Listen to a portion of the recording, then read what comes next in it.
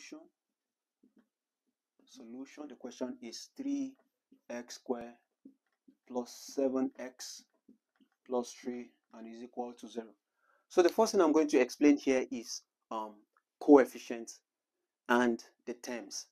So let's start with coefficients. What are coefficients? Coefficients are numbers that are standing with what? Each variables. So in this case we have x squared here. Now x squared here is different from what? X. That's one. Now secondly uh, the coefficient of x squared is 3 the coefficient of x squared here is 3. Likewise, the coefficient of x is 7. So the number standing with a variable is called the coefficient. All right. So in the case of terms, 3x squared is the first term of the equation plus 7x is the middle term of the equation and 3 is the constant term. Now, this is called the constant term because it does not carry um, a variable that is an alphabet generally equal to 0. Now, the equation has two parts, right? We have the right hand side, which is where the zero is, and we have the left hand side. So the first step in solving um, a quadratic equation using the completing the square method is you divide the entire equation by the coefficient of x squared. Now, this is it. So that means we're going to divide the entire equation with what? 3 here. So this is it. This divide by 3 this divided by 3, this divided by 3, and this divided by 3. Now, 3 here divided by 3 is what? 1. So, we have x squared plus 7x all over 3 plus. Now, 3 divided by 3 also here is 1, and we have 0 here. Okay? So, we have completely gotten our first step. Now, the second step is we take the constant term to the right side of the equation. And constant term here is 1 and it's plus 1 at this part. So we're going to take it to the other side. So taking this and crossing this particular equality sign, it becomes minus 1. So we have x squared plus 7x divided by 3 to be equal to minus 1. Thank you. So we've gotten our second term. Now the third step is the third step has um, subordinate. So this third step is we are going to divide, um, the first thing is we divide the middle term by 2. Then we square it and add it and add that to what the entire equation. So I said divide the middle term by what 2, square it and add it to the equation. So in dividing the middle term by 2 is 7 divided by 3 also by what 2 which is the same thing as what 7 over 3 times 1 over 2 if this so this is just like we're having 2 over 1 here. So 1 goes up and 2 comes down. The sign changes. So we have what? 7 divided by what? 6 all right? So that means we're going to square 7 over 6 and add it to the entire equation. So we now have x squared plus 7x divided by 3 plus what we have as 7 over 6 square to be equal to minus 1 plus open bracket um, 7 all over 6 square. Okay, so this is it. So the first step, the fourth step is um, we factorize the left hand side. This is the left hand side. Factorize the left hand side of the equation and simplify the right hand side of the equation. So let's do it. Now, in factorizing this particular expression, since it's like this, we are going to consider um, this x square and this constant term. So the, the first variable and the last variable. So bring the first variable and the last variable together and put the square outside um, a bracket.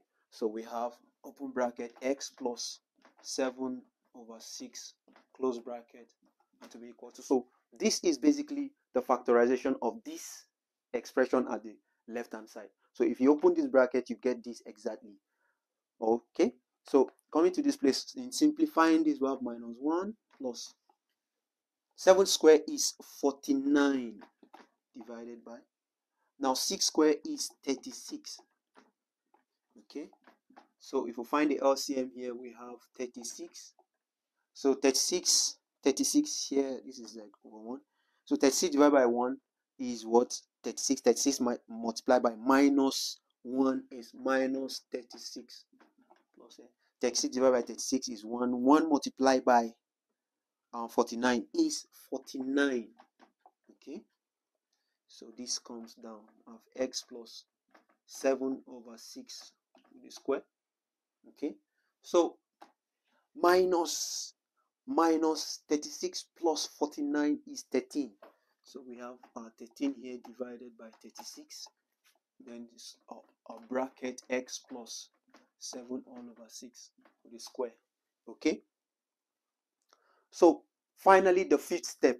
The fifth step is we take the take the root of both sides and find the exact value of x. So i'll write um, take root of both sides so so I have our roots. The first one is x plus 7 over 6 to the square to be equal to plus or minus the big root of 13 over 36. So this square cancels this root and I'm left with x plus 7 all over 6 to be equal to the root of 13 is 3.6.